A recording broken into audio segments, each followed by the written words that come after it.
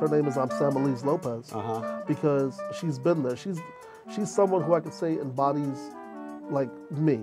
You know, she's been in the shelter system. She has a brother who has a disability.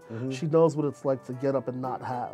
You know, from she comes from the same claw, scratch, and dig mm-hmm. cloth that I came from. Mm-hmm. So this is why we've been friends for a couple of years. And when she told me she was doing this, and she mm-hmm. said, "Hey, I want you to be a part of my team s- because I think you have good ideas, and I think you will be a good representation for this community." I said, "Yes, I'll do it." And you know, I take pride in that. That someone actually came to me, a person with a disability, a person of color, and said, "Hey, I want you to think of policies and plans that would help affect change in your community." Mm-hmm.